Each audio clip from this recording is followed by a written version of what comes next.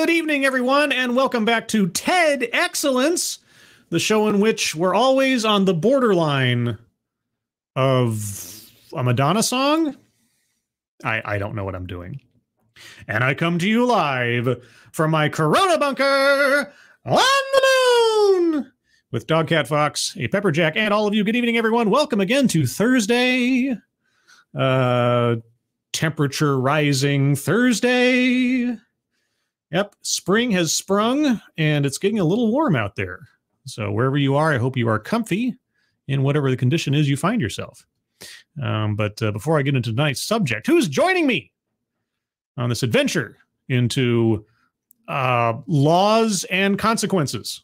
That's what we'll call it. Sure, why not? Noah Asensio, hello. Advocatus Diaboli, hello. Shortline 819, hello. Keever Dam, hello. Seftus Wolf, hello. Miranda Stone, hello. Catherine H, hello. Mike R, hello. Uh, Tony Giff, hello. Uh, who else is here? Jaeger Pony, hello. Samnamnyol Nation, hello. Dr. Funkenstein's Ghost, hello. Shell D, hello. And of course, let me get it here because, uh, come on, come on, StreamYard. Derek LaRue, thank you, thank you so much, as always, for your uh, continued support and generosity every time. I, I don't know what to tell you. I really appreciate it. I hope I earn your patronage, as it were. Thank you so much. And Redneck Ram, similarly, thank you so much for the Hiya Dogcat Fox. Oh, Dogcat Fox. Wowie, wow, wow. that was a quite a come hither uh, P Dog Knight Dogcat Fox. So thanks to P Dog Knight for that uh, contribution way back in the day. Uh, who else is here? Tall person, hello. No name, hello. Spoonie the Rebel, hello. Tethys, Tithus, Tiethes, Tethys, hello. Attack Alpaca, hello. Robert Pincus, hello. Angelverse, hello. Uh, Pissed Off Shih Tzu, hello. Corey Suzuki, hello. Fida, oh wait, no, F- Fida, sorry, Felda, Fida. I thought that was an I. Oh man, this is. By the way, I, next week I'm going to get my uh, my eyeglasses prescription updated, so that might explain part of that. So I apologize, Felda. Uh, let's see who else is here. Data Wasteland, hello. And is that everybody I saw? I hope so. I think so. Smudge, sorry, Smudge, almost missed you. Hello. How could I miss Smudge? And uh, with that, if uh, I missed you, if you're lurking, if you're in the future, uh, hello to you. Uh, let's see. Uh, did I say hello to Roger Reynolds? Roger Reynolds, hello. So tonight, uh, well, today actually is either it already has expired or today's the last day for Title 42. And if you have absolutely no idea what Title 42 is, well, I just did a stream on it uh, yesterday or the day before yesterday, actually Monday. And um, you take a look at that. That'll tell you all about Title 42. It's a not immigration, but immigration affecting policy that, with its expiration, uh, is going to and is probably very, very right now causing very major problems for uh, U.S. immigration. Uh, let's just say resources, capacity, and so on. So, uh, in that vein, as a theme night, I suppose, I looked for a uh, TEDx that had to do with immigration. And this one is from just uh, about a month ago, I think. So it's not that old. I don't know how I missed it, but you know, my eyes aren't everywhere. And this uh, TEDx is going to pitch to us the idea of how U.S. immigration laws encourage domestic violence. Now, I tried to think ahead of time about how that could be. I try to think ahead of time what might the argument be where you get from one to the other. I have a couple of theories. Uh, I don't want to. I mean, I'm going to hold off on them. I'm going to hold off and see what our speaker says. I don't want to make any, you know, presumptions or anything. But I'm I'm curious to know what the argument is. And I'm not going to dismiss it out of hand because you never know. Maybe there's a point there. As with all TEDx's, I could learn something. Uh, so we'll see how this works out. Uh, tonight's bingo card is bingo card B. Uh, B as in border. Aha. Now I got it. It's in the description, links to it thereof. And also, if you direct your attention to the top of the chat box, Keever Dam has helpfully provided us the links to the fundraisers for uh, Moonshock, Angry Illinoisian, and the friend of Twisted Skipster, Tracy. I believe that's still there, isn't it? I believe so. I believe so. Uh, yes. So uh, in uh, Moonshock and Angry Illinoisian's cases, uh, they both experienced some medical hardships that they are still recovering from. So if you have a couple of bucks to spare, they could certainly use it. And as for Tracy, Uh, she and her family are simply trying to keep the lights on and the electric bill paid. So if you have a couple of bucks for that, that is also very much welcome. If you cannot donate, that's perfectly fine. But if you can share those links out on social media, that would be greatly appreciated. Okay, so with all that being said, also, I have a, a, a programming note, an important programming note at the end of the show. If you're listening in the future, you can just cheat and skip to the end. But otherwise, uh, don't don't leave right away at the end. I, important thing. And if you follow me on Twitter or you're a member of the Discord, you already know what this programming note is. But for those of you that don't, you'll find out at the end of the show. All right. With all that being said, as introduction, uh, this one clocks in at just over 13 minutes. Uh, it's uh, Hillary Walsh, Captives Among Us How U.S. Immigration Law Encourages Domestic Violence. I'll start off with a few seconds for a sound test. You guys tell me if you can hear it, and then we will proceed. Meet Maria. Maria, I met a girl named Maria. All right, and, and if you know where that very, you know, badly sung lyric comes from, then you get uh, you get a no prize. Yay! All right, uh, Miranda Stone says good. Ebony Williams, hello. Uh, where will this go? I wonder. I don't know. We're about to find out together. And uh, Mr. Tickle Trunk, hello. And Mr. Tickle Trunk, thank you for sharing that out on social media, the link to the show. By the way, guys, I really do appreciate if you share links to my stuff out on social media, specifically Twitter, because that's really the only social media I use in that capacity. And when you do that, I, I do appreciate also if you could tag me in it so I know that you did, so I can thank you personally because I appreciate it. And I, I also advise any content creator that you appreciate their work, if you do that, some way, shape, or form, they will also appreciate it as well. So, just a tip. All right. So, meet Maria. She's an American. Okay. She's married to her husband, Juan. Okay. Who's an undocumented immigrant. Aha. All right. Well, we're already uh, Let's see. Well, okay, technically it's a family anecdote, but it's not her family. Usually we have to focus in on the speaker. Uh, so, yeah, get your bingo cards ready. We're keeping our ears open. Like all couples do from time to time, Maria and Juan squabble. Mm-hmm. But their fights, those quickly end when Maria reminds Juan that ICE is just a phone call away. Ooh. I mean, not to put a very cheap pun on it, but that's cold. But I did put a cheap pun on it, so I really have to pay the consequence.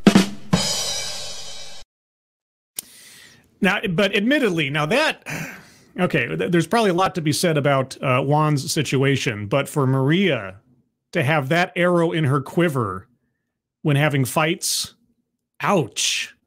All right, and that after he's deported, he'll never see her or their kids again. Uh, again, there are things that could be said about Juan's choices in life, but all the same, that's that's pretty cruel. In the past two years alone, USCIS, the government agency that grants green cards in our country, yes. has reported that there are more than 24,000 undocumented immigrants like Juan who've reached out to our government for help because they're being abused at home by their American spouse. Okay. That's got to be an awkward situation, right? This data corresponds with my 10 years of experience as an immigration lawyer. Uh-huh seven out of 10 of my undocumented clients have confided in me that, like Juan, they're being abused at home by their American spouse. All right. Well, all right. This is where this is where the poverty of my information uh, comes to the fore. Uh, depending on the state we're talking about, you can still approach law enforcement and not necessarily inherently risk being encountered with or being reported to ICE. I really guess it does depend on the state, whether it's a quote unquote sanctuary state or some other situation. Uh, but yeah, holding that over your partner's head, yeah, that's that's pretty harsh. Uh, here's the thing, though, and this isn't in defense of anybody taking that tact against their partner. How is that effectively any different than, say, a spouse that knows that their partner committed a crime or is in the process of committing a crime, you know, or like something, and they threaten to call the cops on them. Mm. Like you, when I first learned about this, I was shocked. But as all lawyers do, I went to the statute to try to figure out how was this happening. Well, wait a second. Okay, I'm sorry. Sorry for a. I have to continually pause because either this is a transformative work or it isn't. Secondly, thoughts keep coming to my mind. Is threatening your partner with exposure to law enforcement does that qualify as abuse? I mean, don't get me wrong. I'm not saying that it's a you know a halo around your head thing to do, but legally speaking, does that count as abuse? Now, I'm not talking morally or ethically. I'm talking just legally. Is that something that actually could be something could be done about?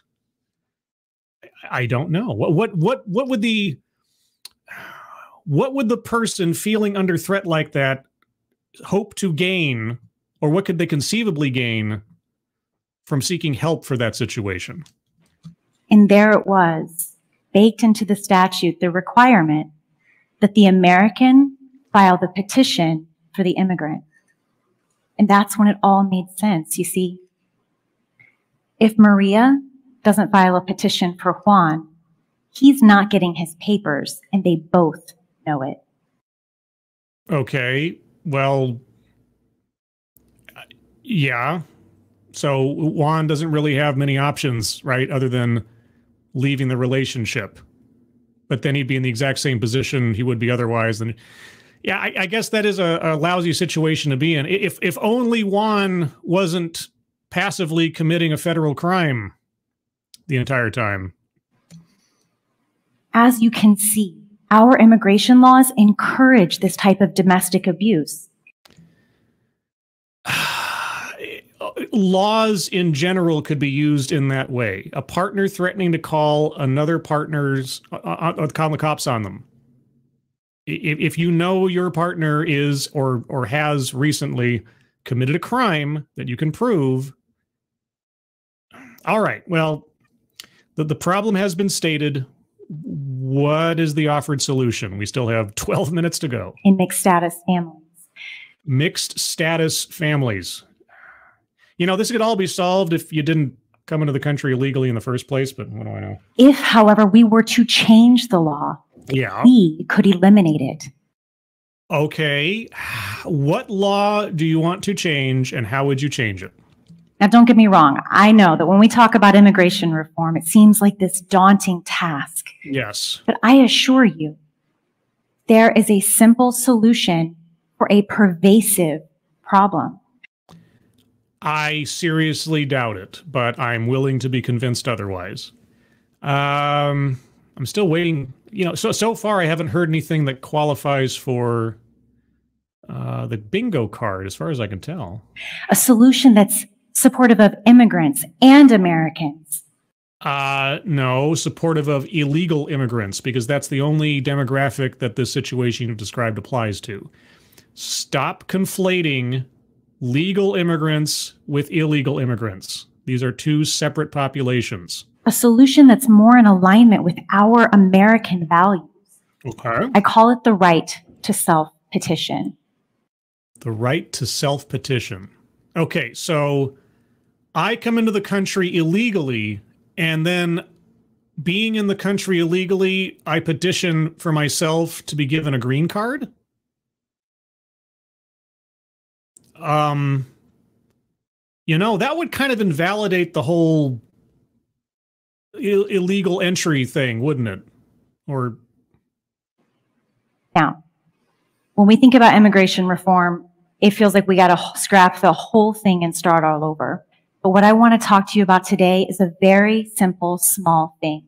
It's not small and it's not simple. If if simply by the implication of the phrase you used, and by the way, that would be attempt to coin new buzzword or buzz phrase. I'm circling that one on the board and also circling free space.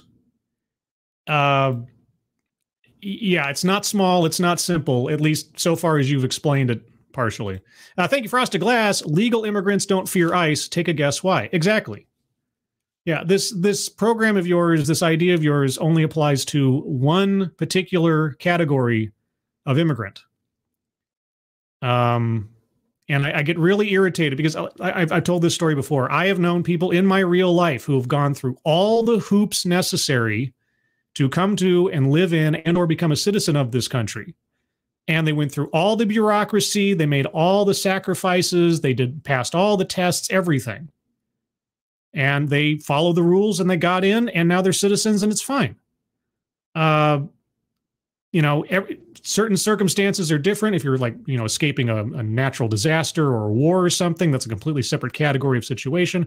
But people that enter this country illegally operate on a completely different level than legal immigrants by definition. And it really irritates me. It's one of those pet peeves when people start conflating the two and together and just call immigrants in one giant category, which it, it, it's not. That's not how it works. You see, ordinarily, an undocumented person like Juan, mm-hmm. he can't petition for himself. Instead, as we see, he has to rely on an American family member to initiate the process. Uh, yes. I, this this sounds like a non-starter from the beginning to me. But I, like I say, okay, I'll I'll wait. And I think, Mr. Trunk, you get your green card before you enter. I think the poor dear is just confused. Oh bless. Yeah, well, that's the other thing too. It's like if you're already here, what's the point of having? Yeah. uh all right. Uh, yeah, he could have petitioned for a green card. He could have petitioned for a visa. Um, you know, uh, if he was going to get married to his spouse, there are procedures to go through where you can, you know, get a marriage visa or a fiance visa and then work your way through the process and follow the rules to become a citizen after marriage. There are ways to do that. Uh, there, there are mechanisms set up for those things. Um, okay, well, this situation of having your immigration status held over your head by a vindictive and or abusive spouse, I I can't say that that isn't a problem. I don't know how big a problem is. She says twenty four thousand people a year or something. Like okay, and this is her solution. But Juan and Maria's real life story illustrates how our laws give all the power over the immigrant's ability to be here legally to someone else, the American. Yeah, the legal citizen of the United States. That's okay. I, I'll just end up repeating myself over and over again, which is probably likely. Now, not every mixed status marriage is abusive like Juan and Maria's. You're right. So if you put this into place, it's not going to just apply to people who are under some kind of threat. But we all know that anytime in a relationship you give the power over the partner to one person, we know that there's a recipe for abuse and that things can go sideways. Okay. Well, that's not what. Okay. Uh, mind reading assumes motives. Uh, you, you need to make okay. You need to make the downside argument as well. Okay, you want to solve this by allowing someone who could be in an abusive situation to try to get themselves out of that situation legally without fearing authorities by allowing them to go to the authorities. All right. Well, what, what's what's the what's the detriment to that? What is the risk? We got to hear that too. I want to share a story with you about that. Okay. From my client Sarah's life. Mm-hmm. Sarah was a young girl in Mexico, 15 years old, and she had to drop out of school because she had a baby. Ah, okay. While she was working in Ah, uh, okay. 15. Hmm, uh, hmm, other things are going on there. Okay. A resort town. She met an American man. They fell in love. Was she still 15? And he married her. Was she still 15? Said, Come with me. Come with your son to the United States where we're going to build a good life together. Okay. I petition for you, and someday you'll even be a U.S. citizen. Okay. She got to the United States and yeah. found something different. Uh huh. She found herself cooking, cleaning, and enduring her new American husband's rapes uh huh. In exchange for food, shelter, and the promise not to call ICE on her. Okay, well, then she was effectively a victim of human trafficking, and I think that puts her in a completely separate category of of situation, doesn't it? Uh, doesn't it? You see, Sarah's biggest fear was that she would get deported and be permanently separated from her son. It's her son, though. It's not his son. He met her. Okay, all right. And so Sarah stayed. Uh huh. That was 22 years ago. 22? Good gravy. And her husband still has not petitioned for her. What? Uh, uh, okay. And in 22 years, she never sought any kind of. Tw- so her kid is a full grown adult at this point and some years past. Uh, okay. Another example of this comes from my client, Carlos. What, well, how was. Sorry, how was that resolved, or has it been resolved? Or what? What is her out? What would? Okay. Carlos is married to Julia, who's an Uh-huh. American. Okay. Together, they have three little American kids. Yeah. Julia worries constantly that Carlos is going to be deported. Well, that's the risk Carlos took when he entered the country illegally. And that's the risk they both put over their children's and their families' heads when they decided to, well, have children. I, uh, okay. He's here illegally. Yes. This makes her hypervigilant, controlling, Uh huh. and resentful that this is the life that she has to live. This is the life she chose. Unless he lied to her, unless he concealed this fact from her up until some point at which there was no turning back, this is the life she and he chose to live. Okay, the, the, the threat of deportation and or involvement from the federal authorities was hanging over their heads the moment they met, and they knew it, and they decided to have children together under these circumstances. But if she's an American, why isn't she petitioning for his residency, green card, whatever? Is is this is this another case of abuse? She monitors Carlos's cell phone location to make sure he only goes to places that she allows him to go. Okay.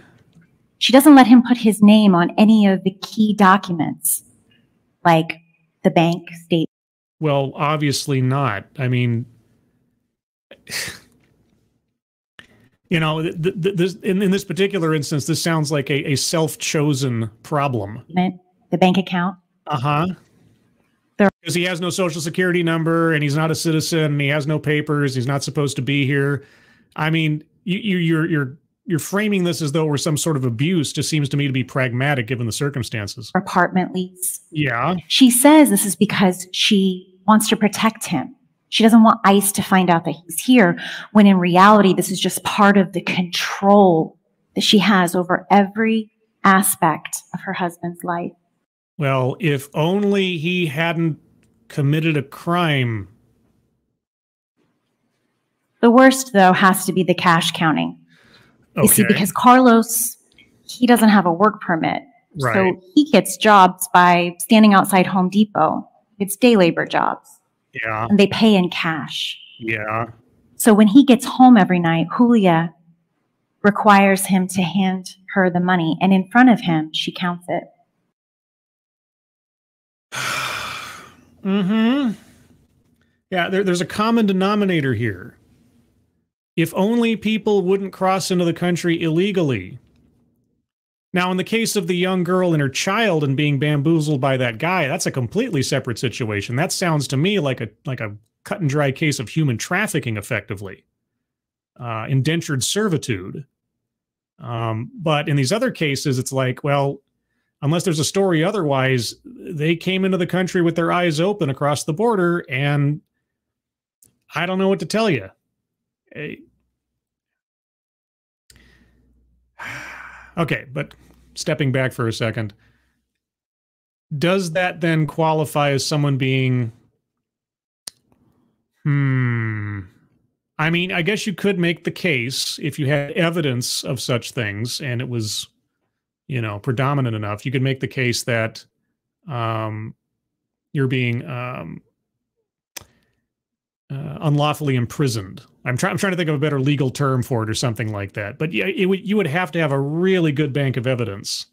I'm not sure if that would give you a whole lot of leeway with the feds, but it might. I don't know. Let's. Hmm. And if he doesn't bring home enough money that day, she doesn't let him eat. What? Jeez. Carlos loves Julia. Why? He loves his kids. Sure, but why her? He hates that this is the life that he's giving them. I, okay, okay. Again, there's plenty of fault to spread around here with the original sin, but then her behavior is completely unacceptable if this story is true, and I'm just taking it on faith. But he, he I love you for keeping me effectively imprisoned and counting calories on my earnings and everything. Really? So he hands over the cash. Yeah. And he hangs on to the hope that someday she'll make good on her promise and finally petition for him so he can get his papers. Uh, okay.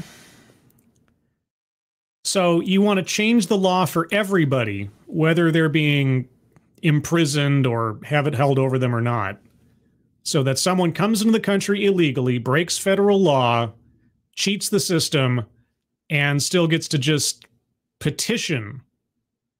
Now, that doesn't guarantee that they'll get it, right? Petitioning isn't a golden ticket. Am I correct? Now, the abuse of the immigration process that I'm describing here, it's not unique. The abuse of the immigration process. Sorry, who's abusing what again? It is petition. Okay. Again, don't you petition for someone before they've entered the country? Doesn't it require you to actually have entered not entered the country? Like I, I i have a family member on the other side of the border right? And i'm an american citizen and i would like them to join me in america whether it's uh, my child or my elderly grandmother or something else like that. If i petition for them to come to america they have to be not already in the country correct? Okay again i'm not an immigration lawyer. Maybe i missed something but this all sounds a little bit backwards to Americans to their undocumented spouse. Sorry, let me back up a little bit. I cut her off. Now, the abuse of the immigration process that I'm describing here, it's not unique to Americans to their undocumented spouse. It also happens from American sons and daughters to their undocumented parents. And the pain it causes reverberates throughout the family.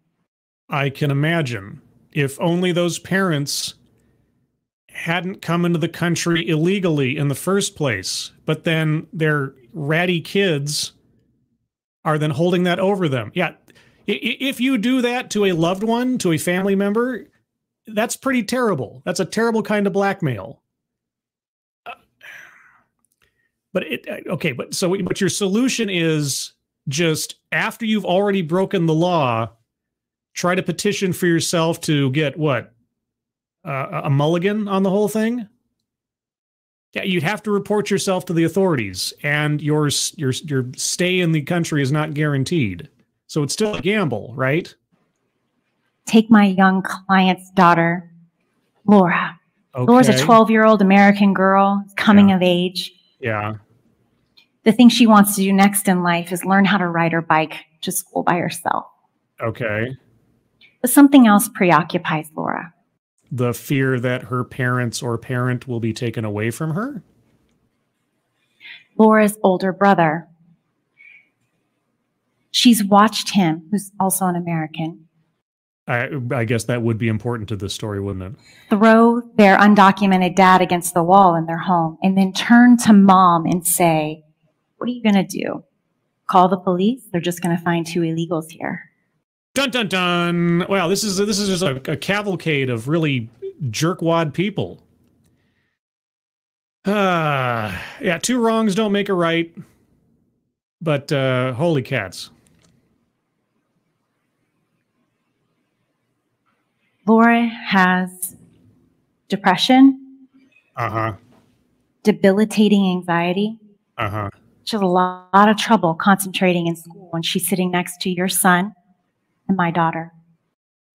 Okay, so there is no avenue in any of these situations for any kind of redress, any kind of protection for domestic abuse, domestic violence, threats, blackmail, etc. Now, I, I, don't, I don't know where any of these cases are taking place. Uh, so, yeah, well, again, you've painted yourself into a corner when you come into the country illegally. I, it's not that I don't have sympathy for someone who's being being effectively blackmailed or pushed into indentured servitude as a result of having this hanging over their head, but at the same time, uh, the answer is just what blanket golden ticket.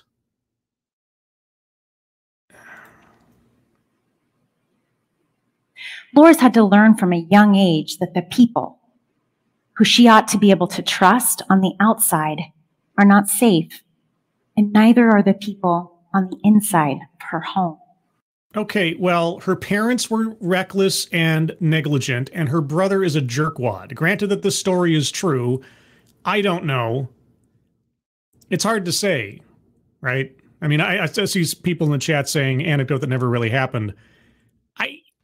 I've known some jerkwads in families before, so I can't say that that's not true or these stories aren't aren't true. They don't sound too perfect or anything, but uh, yeah, I, I have seen children abuse their parents before, or my, not like personally, but I mean I've seen the results of it and things like that. But and and likewise, you know, spouses and so on. So I can believe those stories have happened.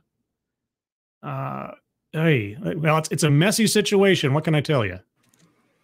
This type of instability is traumatizing. No kidding. And if only there wasn't a circumstance that some adults made for themselves, say for that pregnant girl in the earlier story, uh, that put the entire family in the situation in the first place. That doesn't invalidate, or something I should say, forgive, I should say, the behavior of either the spouses or the children that are blackmailing their own loved ones. But the better solution is don't come into the country illegally. Our laws, our system facilitates this. if I know that my spouse is a drug dealer, I could call the cops on them at any time. If I know that my spouse is a career thief and has stolen goods in the home, I could call the cops on them at any time. I could hold over my spouse's head, my parents' head, whatever else, anything that I know about criminal activity over their head at any time. What what exactly are you suggesting? Like I say, it, it doesn't make it right to do that. Blackmail isn't good. But uh, the scenario you're describing can be applied to anybody, American citizen or otherwise, when you know that someone in your family is either currently or has been a part of a criminal enterprise in some way, shape, or form. Uh, okay. Now, you may wonder why. Why is it like this? And if this is the consequence of our laws, surely there must be a good reason for why is there a consequence to having consequences hanging over you for committing crimes? I, I don't know. Why? Why? Yeah, th- this is the part where you're starting to lose me. Your your solution doesn't make any sense put up against any other law or any other crime that could be committed by any adult at any particular time. I, I, I don't know what to tell you. And it, it's a particularly unique situation. It's true because if you're caught, uh, you don't just go to jail necessarily. You could be kicked out of the country for well the rest of your life. uh, which is a kind of imprisonment, I suppose, away from your family and the children you had in a country where you're not meant to be here illegally in the first place. Uh, yeah, if you make very poor decisions for yourself, you're going to reap the consequences eventually. Or why we haven't changed them. What? To explain that, let me take you back to the 1800s just for a moment. Oh, God. Why? What do the 1800s have to do with your proposal now? You've given us four or five different case studies on your argument. These are your examples of the situations that need to be redressed by your idea. Okay, now you need to describe how this would work, the pluses and the minuses, the obstacles to overcome. Why are we now going back in time? This was the time when our immigration laws were designed, what's still followed today. Uh, our immigration laws of the 1800s are the ones we still follow today. Okay, first off, I'm circling weightless example. Because uh, no, no. Uh, there, there might be bits and pieces of language or or sentiment, but no, come on. And the social norm at the time was that women were regarded as the property of their husband. And you've just described at least one scenario where the husband was the property of the wife. So, meh. And so it makes sense when we look at our structure for immigration laws today that, of course, the American husband would petition for his foreign wife. And today, that's continued. The American petitions for the immigrant. You just gave us a story where the wife was basically enslaving the husband. What are you talking about? What? I'm glad I circled weightless example because that's just no. But the thing that's also continued is that the immigrant is still essentially treated like the property of the American family member. Well, only if they're a jerkwad. But yeah, the person here illegally is under a heck of a lot more risk than the person who's not here illegally, if you can believe it. I, I mean, it sounds like she's basically saying we should just throw out the idea of illegal immigration. If you show up, you're fine. Any way you can get across the border, you're fine. Th- this idea would cause more people to rush the border and to take risks with their lives and the lives of their children just to get here. Because as long as you can get across that line, and I don't have to have somebody petition for me, I don't have to go through any bureaucracy, I don't have to go through any approval process. Is she, is she going to acknowledge the inherent pitfalls of this idea? I wonder. Folks, there's no good reason for continuing this process. Yes, there is. Have you seen the numbers of people who have died coming to this country? Have you seen the numbers of human trafficking as a result of people coming to this country illegally? But do you have any idea? Are you willing to at least admit the possible downfalls of this concept of yours? Because you're not just making a rule for people who are being abused by their American spouses. Okay. If you can self petition, then you don't have to have any connections to this country beforehand. You just have to show up and petition. And that's it. You, you might as well not even have immigration laws anymore. As long as you can cross that line, it is going to be the worst marathon race you've ever seen if you implemented this. Cross that line climb that wall, get smuggled in, pay somebody money, risk your life, cross the Rio Grande, risk drowning. As long as you can get across that line, you don't have to go through any border checks, you don't have to go through any paperwork, nothing. As long as you can get into the country and petition for yourself, and that's all you have to do. Are you nuts? I mean, these stories she's giving us sound like absolute horror stories. I'm not going to deny that. But there's a bigger picture here to what she's proposing.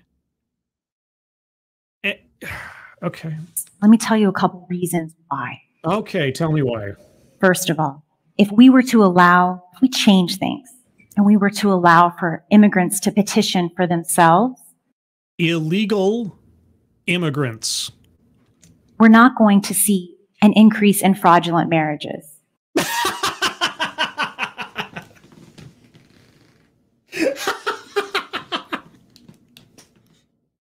really?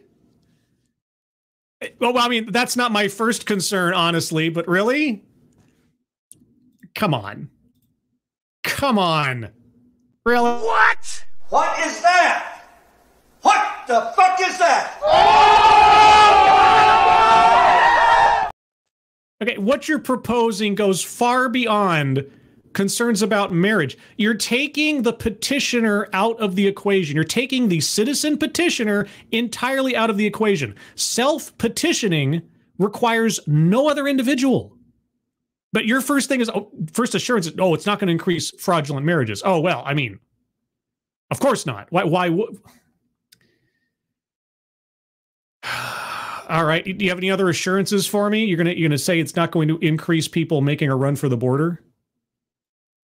Uh, thank you, Kiefer Dam. A couple of reasons. A list. Ah, you're right. Kiefer Dam is correct. That would constitute a list. A couple of reasons. Circling a list on the board as well. Come on now. USCIS already has a system for independently verifying the authenticity of marriages, totally separate from the Americans' involvement. Okay, so if it's literally a non issue, then why did you bring it up? We're also not going to see an increase of people being a burden on society. I would like you to go take a tour of El Paso right now. See what happens when a whole bunch of people who have come to this country with nothing still need to be taken care of as a matter of just basic humanitarian needs. Go look at El Paso immigrants petitioning for themselves will help reduce that, in fact, because our existing system forces more people below the poverty line and in need of social services. You mean living in the country illegally makes it hard for people to get legitimate work? Well,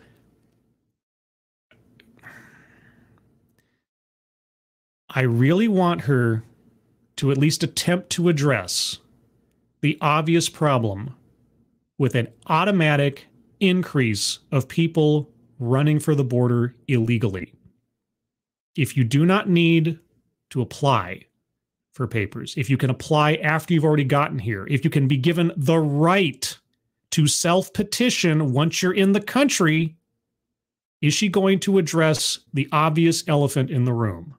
People like Sarah. Okay, Sarah, was that the girl that came across? Okay, if that's the girl that got pregnant and everything, okay, that is that sounds like a completely separate criminal enterprise going on there. That guy is effectively got an indentured servant, and it sounds more like he's guilty of human trafficking. Okay. 22 years on. Who don't have a social security number and they can't get a driver's license. And so when they do drive, they're driving without car insurance. Uh huh. It's almost like you're continually risking breaking the law by breaking the law. Uh, thank you, Matt Barnes. There's nothing to see in El Paso, Scribe. Ask the border chief, Kamala Harris. Hey, yeah, tell me about it. Yeah, that was that was a whole other conversation I had uh, on the Discord before the show.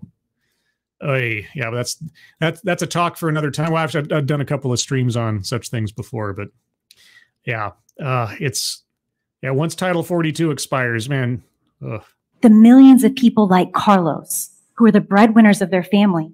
But because they don't have work authorization, they have to work twice as hard for half the pay. Address the risk of the increase of people coming to the country illegally if your proposal were actually real. You say you're an immigration lawyer.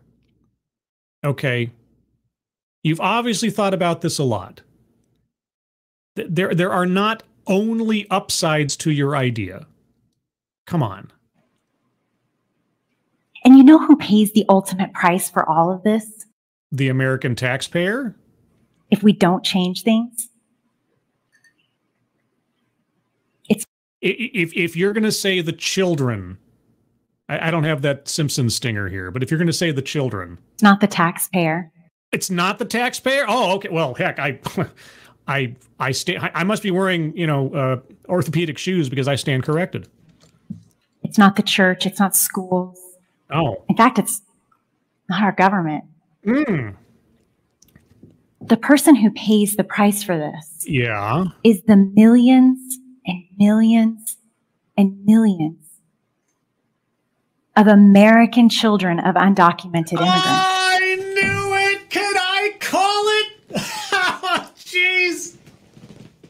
Won't somebody please think of the children? Oh man, come on. That is such a cheap shot. That is such a cheap shot. Oh, come on, lady.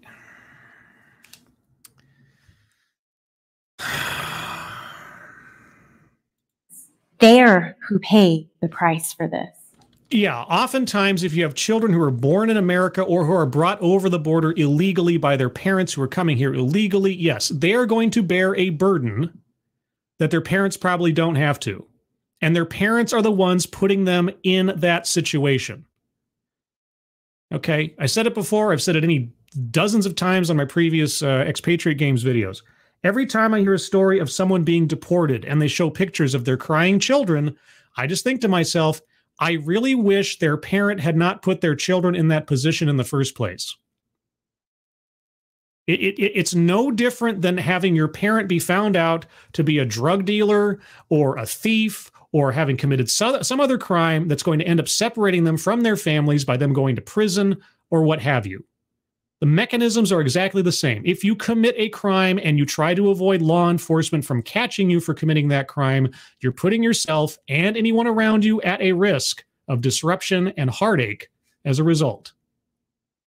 Be- being here illegally doesn't put you in some kind of special status for the consequences you're going to face for making that decision.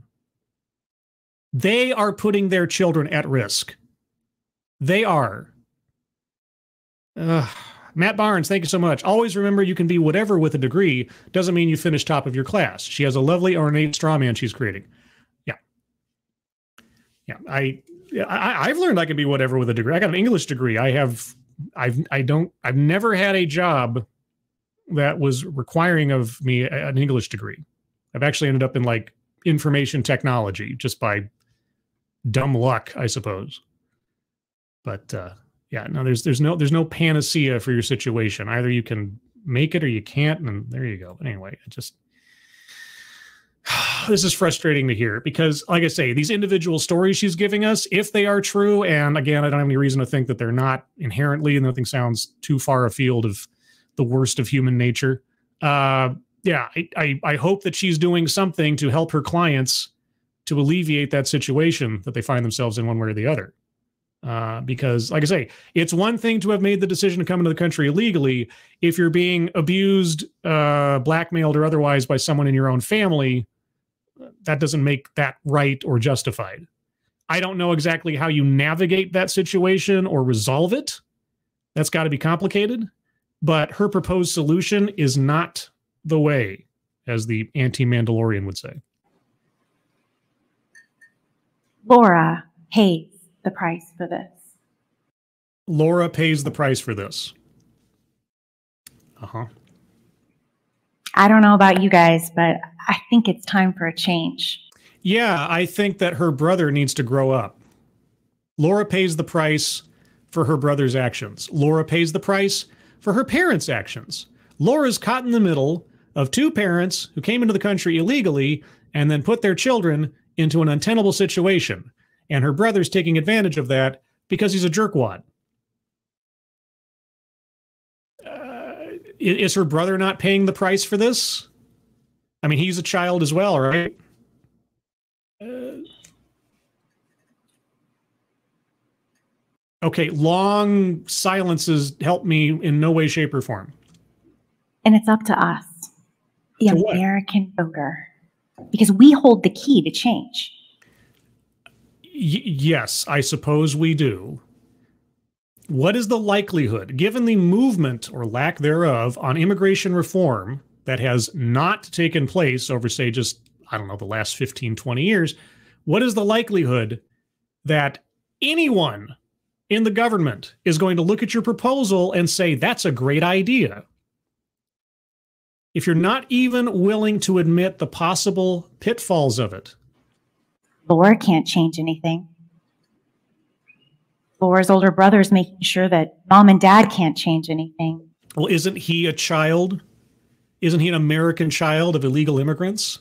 Isn't he paying the price? But me and you, we can.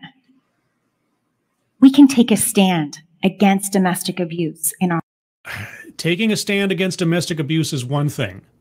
Writing an open ticket to anybody who crosses the border into having a shot at a at a free ride that that doesn't help anything. That will not help anything. our laws. Let me uh, back up a little bit. I cut her off. And you, we can. We can take a stand against domestic abuse in our laws. Whether it's in an immigrant's home or whether it's in an American's home or whether it's in a mixed status home, we can take a stand against all domestic abuse. And when it's codified in our statutes, we can change that. Okay, tell you what. I hate to tell you this. Domestic abuse is already illegal. It's been codified in our laws, state by state. Provable domestic violence, domestic abuse is a crime. All right. Now, I have a hard time believing that there is absolutely no pathway for protection or redress in all of the cases that you cited. That if I'm being held as an effective slave in my own household and having my immigration situation held over me, that there's no shelter, there's no avenue for protection. Same thing with the husband not the wife, mind you, in your own story about the 1800s or whatever, that the husband being turned into an indentured servant doesn't have some kind of redress he can't seek out in some way, shape, or form. Okay. But if you want to say, oh, we have to take a stand against domestic abuse, well, that's a completely separate kettle of fish than what you're talking about. You're talking about fundamentally opening up the border. Or at least, at the very least, telling everybody the border now is the finish line if you get across that line, you're good to go. You don't need to apply for anything. You can petition for yourself, and somehow, some way, we'll house you here while you petition for your status or something. Come on. So the first thing you have to do Mhm. if you want to get on board with this Yes. is make that decision. Oh, Uh, make a decision. Oh, okay. So I'm going to be I'm going to be responsible for choosing to or not to do something. Okay. I stand against domestic abuse in the United States. That it. Come on, lady. That that is such a switcheroo. And the next thing you do is you shop wisely What? because when you go to the ballot box, what? Shop? you're looking for a governor, a senator or two, and a president who's committed to making simple changes. That is not a. Nothing of what you're proposing is a simple change. Nothing of what you're proposing will cure domestic abuse. Nothing. If there is an abusive member of the household, okay, let's think about this for a second. If you have someone in the scenarios that you presented who has a mindset, an attitude, a mentality willing to hold over their loved one's head their immigration status to make them do things or to be subservient, what do you think them being a legal immigrant would suddenly change that dynamic? They wouldn't find other ways to try to control this person, abuse them, take advantage of them, threaten them. But even setting that aside, again, this is not a small, simple change you're proposing. And, and it's actually kind of interesting that you spent more time giving us scenarios and stories and waxing philosophical about the idea of it than actually telling us about the nuts and bolts of how it would work, how it would be implemented. And again, not admitting to the obvious downsides. We don't have to scrap the whole thing to make a simple change. Uh, you might as well scrap the whole thing if you make this quote unquote simple change, because then our immigration laws will effectively be nullified. Being in the country illegally will have no more meaning. like the right to self petition. The right. Guys, if we do this, mm-hmm. Yes. What happens if we do this? we do this, Yes. imagine the ripple that we can make. I am I am already imagining and I've already articulated the kinds of ripples that this will cause. Mostly of bodies floating in the Rio Grande. Okay, I, I admit that's a bit hyperbolic. That's a bit out there, but don't tell me that such an idea would not cause more people to risk their lives than are already doing so. Holy cats. Imagine what it's going to be like for Laura to ride her bike home from school all by herself one day What has that got to do with her having a jerkwad brother? and for her to open the door to her home. And because of you, there's no more nuclear option of her American family member threatening to call ICE. Her American, you mean her brother? One of the other children of illegal immigrants that you said were the people paying the price? Again, if her brother is of such a low character that he's willing to hold that over his parents' head, you think he's going to suddenly what? Become a better person in the household as a result of that change? What? on her parents. I believe that our children deserve that kind of security. Oh, come. Stop tugging the children heartstrings. It is so cheap. It is so cheap. I believe that the United States of America promises it. Wait, we, we promise what? Hold on. What? Promise. Our children deserve that kind of security. I believe that the United States of America promises it. No, the United States of America does not promise the protection of children from being separated from parents who have committed crimes. No, it just it doesn't apply. That makes absolutely no sense at all. And it's up to us to provide it. Uh-huh. Thank you.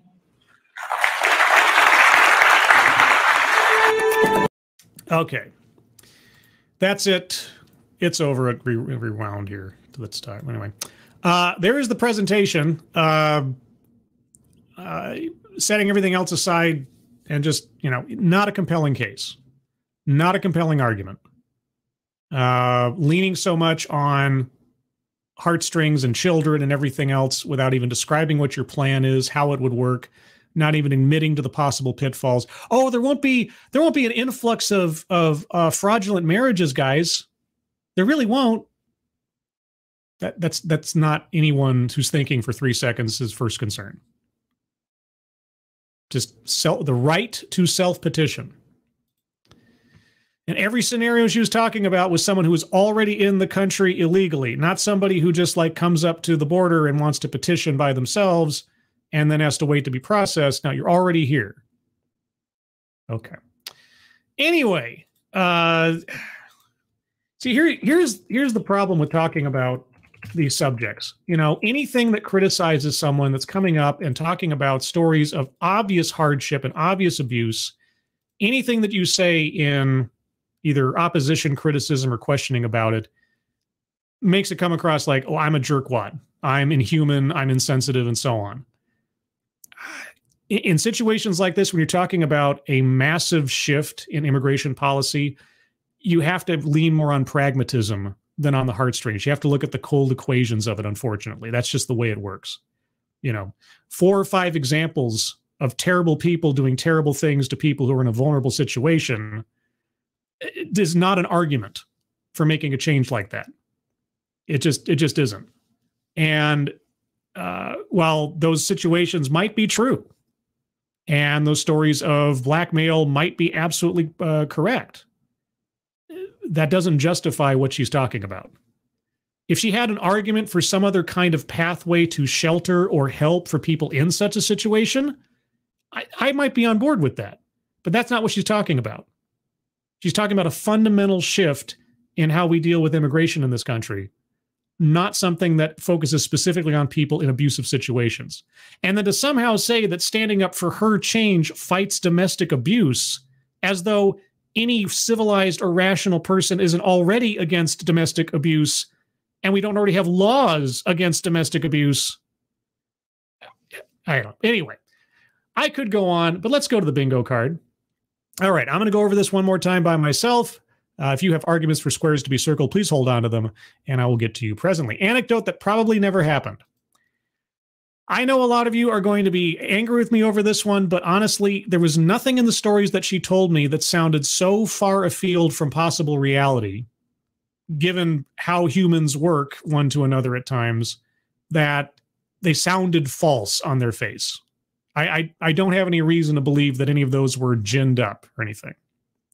Now, her leveraging elements of those stories for her argument that's a different story that's a different story in and of itself but the actual anecdotes i could believe them. Uh, I, I'm, I'm happy to hear your arguments in the counter that's fine but it's it, it it's an uphill climb for me to circle that one. Uh, self vilification or wretchedness she never really talked about herself in any way shape or form up up down or otherwise. Systemic institutional yeah immigration system uh, the 1800s institution of these laws, and somehow it's in, inherently. I'll get to patriarchy in a minute. Word salad. No, I, I understood what she was saying. Nothing was, you know, just yeah, just random words coming out. And I eh, nothing sounded like word salad. Leaves out vital context. Yeah. Uh, even a smidge of acknowledging the possible downsides of her argument, of her proposal. Not not even the barest hint. Uh, in in in the omission of anything that could be a flawed element of her plan. Yeah, collectivizes own demographic.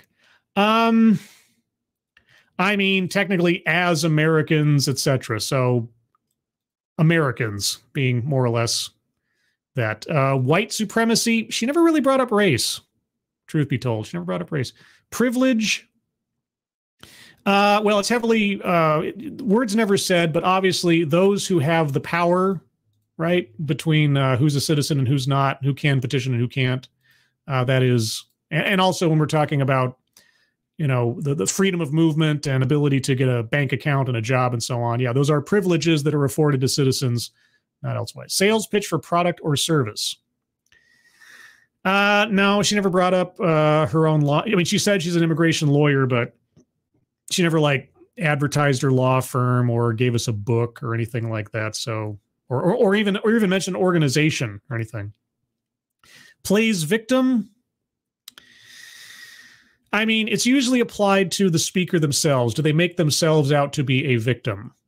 Um, and it, but here's the thing: if I'm willing to accept that the anecdotes and the stories that she gave us are conceivably true, then nothing about them was play acting. People in those situations were obviously victims. Even if they broke the law and coming to the country illegally, then their their loved one holding it over them, yeah, that's not playing a victim. So I leave that there. Uh, let's see, wage gap. Um, yeah, she did talk about uh, the ability to make money and earn a living and etc. So kind of wage gap between those who are here legally and those who aren't. Uh, patriarchy, yes, in talking about how men were controlling of the women and so on. Uh, now, I can imagine some wiseacre out there might say, well, feminism, feminism's in there as well because there was the story of the wife holding it over the husband. I, I, I no, I'm no. no, but feminism as a, as a reversal, no, that never, that was never really brought up, as far as I can tell. Diversity, equity, and inclusion. Uh, I know that literally speaking, she was uh, uh, arguing for inclusion of people into the country who aren't here to petition for themselves and everything. That's not quite what the square represents. So I need uh, I need a much better argument for that. Marginalized marginalization. Uh, yes, that's inherent to people uh, who are um, hiding from law enforcement and they live on the fringe of society effectively because they can't get a license, get a job, etc. So, in the literal sense, even though it wasn't uh, stated, argumentative non sequitur. Uh,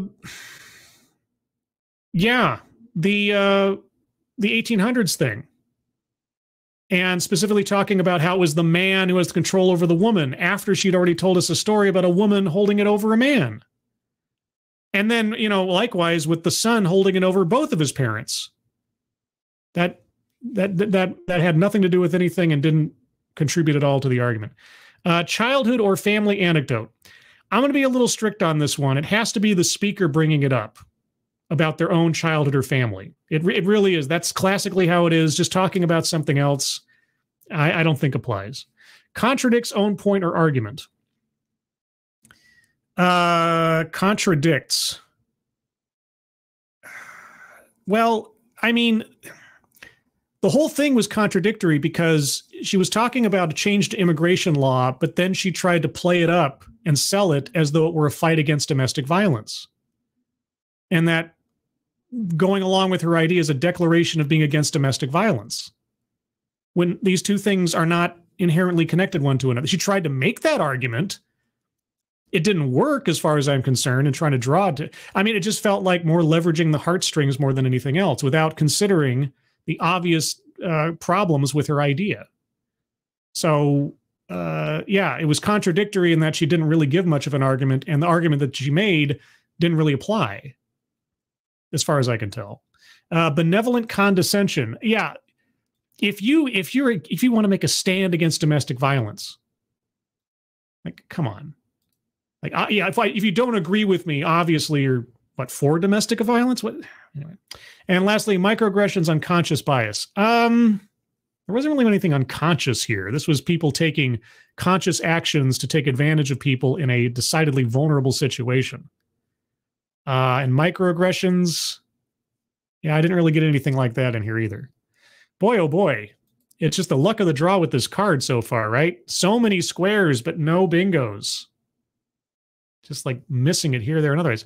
All right, guys, I'm going to open it up to you. If you have arguments for squares to be circled, please put them in the chat now. If I've already missed your comment and I don't get to it, please repost it. Uh, Q continuum anecdote. There were no sources for the stories told. There never are. Never. It, it's it's it's an estimation of the anecdote itself, uh, the details given, the effect it's meant to have, and so on. Uh, again, her use of those examples in pulling on heartstrings, I don't. I got a problem with that as far as her argument is concerned. As far as the anecdotes themselves, none of them sounded incredible, and I don't mean incredible in the positive sense. Like they they they, they had a, a level of credibility just by you know things that can happen in life. So uh, and, and, again i'm open to having someone give me specific examples or make an argument for a specific anecdote. But in the overall i didn't hear anything that sounded for lack of a better phrase too good to be true for the sake of her argument. Uh super koopa tv the word illegal is meaningless to these people. To them there's no such thing. I i again I, this is one of those situations where I would love to have seen, if there was one, some kind of Q and A session with the speaker afterwards, because there is an obvious question right hanging in the air over her proposal that I would love to ask. Like, how would this not encourage a race to the border and people risking their lives, their safety, and onward? Because if all they have to do is get in to petition for themselves, then what's going to stop uh, an influx of people and I mean, criminal elements or otherwise, just getting here and putting themselves in the same physical risks as they are right now trying to get to the border without such an idea. That that just I mean, admittedly, that's just one potential downfall of the thing, but I think it's a pretty major one. Uh let's see. Okay, Q continuum. Uh contradicts. Oh, I already circled contradicts. Uh, more explanation of earlier post. The examples of domestic abuse involve a citizen and an illegal immigrant, so changing the immigration laws would not solve domestic violence. Yeah, exactly, exactly. Right. Yeah. Anyone who has the mentality to do that to their loved one or their family member, uh, yeah, you, you take away one piece of leverage against them. Trust me, they'll they'll find another one. If they already have that that sensibility and how they want to treat someone in their family, Yeah, they, that is one tool they can use, but it, it wouldn't be the only one. Uh, let's see.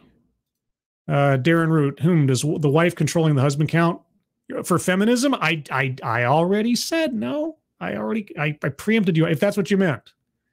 Uh, uh, did she forget about client lawyer privilege? She didn't give any names, and I'm sure the names were probably pseudonyms or something. Uh, again, real life examples. So, anyway, uh, da, da, da, Let's see. Advocast scribe like not a bingo square, but she said, quote, I am against domestic abuse in the US, unquote. So I can only assume she is cool with it everywhere. uh, yeah, admission by omission. Is that what you're trying to push there? I, I suppose. I suppose it's possible. Uh, Seftis Wolf, white supremacy, the white people trying to keep the brown people in slavery. Uh, that that really wasn't a major theme within this. So I'm going to say no. Uh, Johnny Hellcat, patriarchy. I'm not sure. I showed up late to the party and not actually sure why. Oh, well, patriarchy because she took us back to the 1800s and tried to tie some line between men's ownership over women now equating to an American citizen's ability to petition for someone who's not an American. As though those things had anything to do with each other in any kind of sensical way. That's what that was. Uh, let's see. Uh, Genti Maxi, vote blue because think of the children. Uh, something like that. Something like that. Uh, and, and did I call it, man? I knew it. Who's going to pay for this? Not the taxpayer. Oh, oh, okay. But the children. Oh, the children. Uh, let's see. Any other arguments for squares to be circled? I mean, it it it's completely legitimate that we get no bingos out of this because she was very focused. She leaned on anecdotes more than a whole lot of other argumentation over the course of the thing. Um, and I mean, I, I keep looking at word salad. Like, I mean, I understood what she was saying. She she wasn't just like belting out phrases for the sake of belting out phrases. Um, her, her, her argument was not very effective. Obviously, her examples um, again, I could see this being a much stronger case for some kind of pathway to protection for people in that situation. And especially the lady who was, uh, you know, had the kid and she's brought over and then she becomes effectively a an indentured servant slash slave in the household. That that alone sounds like that lady, given her circumstances, might be given a bit of a pass and a bit of leniency in her situation since she is effectively smuggled into the country and and trafficked. Uh, and having having her child held over her like that and separation that's a whole other that's a whole other ball game as far as i'm concerned. The other ones are a bit murkier. The other examples she gave are a bit murkier with you know one spouse holding it over another spouse. Um yeah i i don't know. There's this this presentation could have been an argument for a different idea. Let me put it that way. There's probably a better idea hidden somewhere within this situation that could have been proposed than the one that she was proposing. Because the the the lines did not line up. They just didn't the, the streams did not cross on this one if that makes any sense. Uh let's see q continuum scribe needs to shuffle the card might have more opportunities for bingo well this is this is the uh, mechanism of choosing the bingo card because there's three bingo cards a b and c and the results of the poll from earlier today on Twitter resulted in B. Now, if we'd had bingo card A or bingo card C, these same uh, squares being circled might have led to several bingos. So we have a shuffle. It's a bit static of a shuffle, but it's all up to the random chance from the both the talk uh, and the uh, poll on Twitter. The poll, which you can take part in uh, every Thursday, I try to post that in the morning so that you can have the opportunity to participate in the poll on Twitter. You just have to follow me there at scribe underscore light. Okay, programming note. I promised a programming note before I get into the closure of the show. Here we go. Sunday, May 21st at 5 p.m. Pacific time, 8 p.m. Eastern time. And then, because of the way time zones work across the globe, Monday, May 22nd at 10 a.m. That's not me saying there's two shows. I'm saying this is all happening at the same time because the time in Sydney, Australia is far ahead of where I am. And so, but either way, the fourth episode of Living on Borrowed Crime will be occurring Sunday, the 21st, 5 p.m. Pacific. And then you make the adjustments for your time zone. And scheduled to appear Matt Orchard and Dave's Lemonade. I am looking for slash hoping I can bring on a third guest, but I don't want to write any checks I can't cash quite yet. So keep an eye out for that. Um, and uh, yeah, so that's coming up. If you're already following me on Twitter or if you're already a member of the Discord server, you might already know this. If you're not a member of the Discord server, why, I'm going to put a link into the chat in just a second here that will give you access to the Discord server. All you have to do upon landing into the Discord server, link is in the chat now, all you have to do is say the secret word.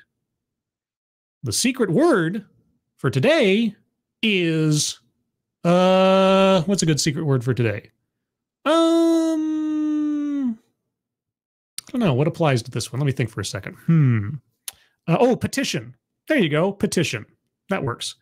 The secret word for today is petition. So if you land into the Discord server and just say petition, I and my moderators will know you reached the end of the show and watch the show and are a, a viewer, and you can join the Discord server. And also, before it passes me by completely, Miranda Stone, thank you so much, Miranda, for your generosity, as always. Everybody be sure to thank Miranda, thank Keever Dam, uh, the two den mothers of the chat uh, and moderators over on the Discord server for all that they do to help support the chat and uh, and promote it. I appreciate it. And everything that they do to help out. And everybody else who's got a wrench. Because uh, moderators Thank you for keeping an eye on things. Even though everyone here is so well behaved, you have very little to do. Everybody who donated, thank you, thank you so much, either to myself or any of the fundraisers at the top of the chat box. Thank you so much for your generosity. I really do appreciate it. Uh, also, the Sunday stream. There will be a Sunday stream on Sunday at 8 a.m. Pacific, 11 a.m. Eastern, where I'll talk about a thing it might be immigration again. Not sure yet. I have to wait and see what the news uh, has, but I'll decide that on Saturday because I never decide these things until the last minute because hey, I like to live recklessly. Well, actually I don't, but you know, that's that's the kind of thing that you say. Either way, everybody. Oh wait. Wait, what's this? What's this? Ebony Williams. Kind of a stretch, but diversity, equity, inclusion, diverse circumstances with the families. I mean, she said mixed status families. It wasn't really promoting. Yeah, I, I, I don't don't think that quite applies. I can I can see where you're coming from, but I don't think so. I don't think so. Gonna be a little strict on that one because it would be a bingo square. But uh, all right, well, that aside, Ebony, thank you for the suggestion either way. Everyone else, I hope you enjoyed the stream. On your way out, if you could hit the like button, I'd appreciate it, or the dislike button if you didn't. I appreciate the engagement either way. Leave a comment if you would, if you can, if you want to. And with that, everybody, thank you so much for joining me. I hope you all have a good rest of your Thursday. I hope you have a good Friday ahead of you and weekend as well. I hope you are all safe and well. If you're not well, please get well soon, and I'll see you on the next one. Take care, everybody. Bye bye.